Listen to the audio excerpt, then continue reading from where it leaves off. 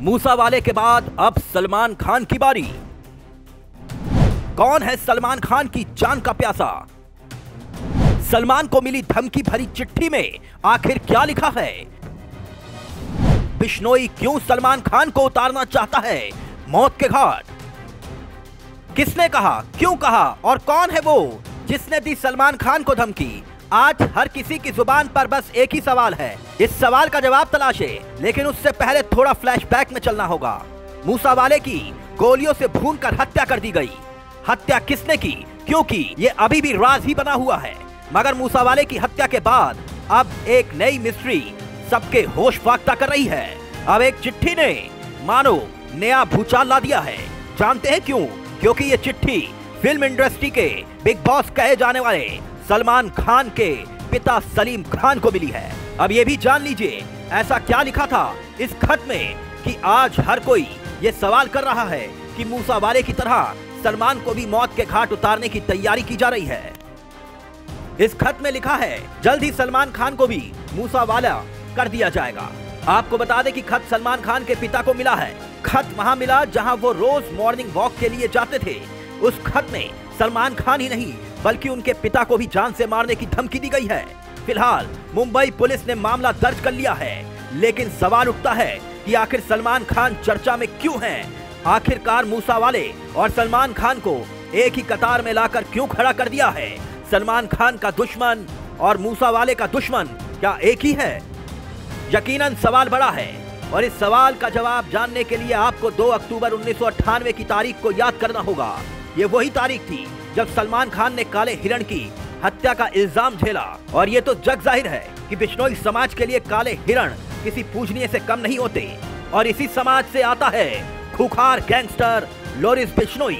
Lawrence Bishnoi ने उसी समय ऐलान कर दिया था कि वो सलमान खान को छोड़ेगा नहीं।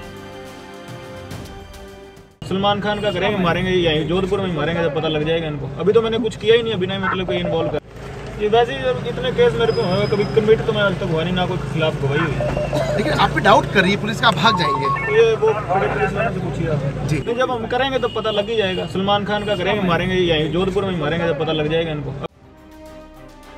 यही कारण है कि उसने अपने गुर्गे से कई बार सलमान खान की रैकी तक करवाई लेकिन कामयाबी नहीं मिली।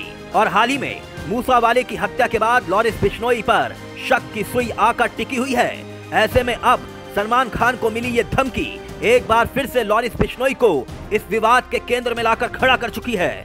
लॉरेंस बिश्नोई के हौसले तो इतने बुलंद हैं कि उसने 2018 में कोर्ट के बाहर ही सलमान खान को मीडिया के सामने खुलेआम धमकी दी थी कि वो सलमान खान को छोड़ेगा नहीं। सलमान खान का करेंगे, मारेंगे जोधपुर में मारेंगे जब पता लग जाएगा इनको। अभी तो मैंने कुछ किया ही नहीं, अभी नहीं मतलब कोई इन्वॉल्व कर तो जब हम करेंगे तो पता लग ही जाएगा। सलमान खान का करेंगे, मारेंगे यही जोधपुर में मारेंगे जब पता लग जाएगा इनको। एक शार्प शूटर को सुपारी देने तक की बात सामने आई। आइए जानते हैं, कौन है वो शार्प शूटर जिसे लॉरेंस बिश्नोई ने बकायदा सुपारी दी थी? लॉरेंस बिश्नोई ने कहते हैं, सलमान खान की सुपारी संपत महरा को दी थी। ये बात पुरानी है, लेकिन इसकी चर्चा करना ज़रूरी है। संपत महरा ने सलमान खान का फ़ैन बन के खुफिया अंदाज में सलमान को मारने की साजिश तक रख दी थी।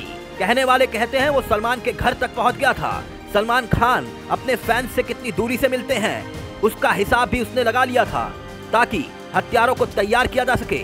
लेकिन वो किसी और मामले में पुलिस के हत्या चढ़ गया और उसके मंसूबे धरे के धरे रह गए। खैर, ये धमकी किसी की शरारत है या फिर वाकई में सलमान खतरे में है? खैर, पुलिस तफ्तीश में जुटी है। आने वाले वक्त में लगता है बहुत जल्द बहुत बड़े खुलासे होने वाले हैं। Bureau report, news world India.